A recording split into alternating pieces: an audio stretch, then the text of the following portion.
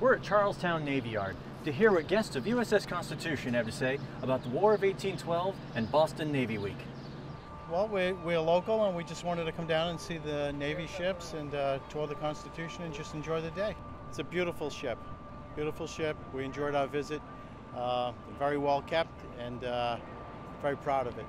I think the Constitution is a very, um, of course, it's a very historical uh, ship. There's a lot of history behind it, uh, a lot of good information to, to take in from tourists such as myself coming from San Diego. So a lot to, lot to experience on, on the ship. It's great. It's nice to see the modern with the old ships, and we love history, and so it's it's great to see all different historical aspects of the Navy.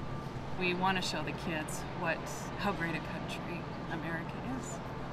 I think it's really, really cool that they all came here, and it's, they're really cool, the different kinds. As a little girl, I came here almost every day when I was uh, working at the USS Constitution souvenir shop, which used to be across the street.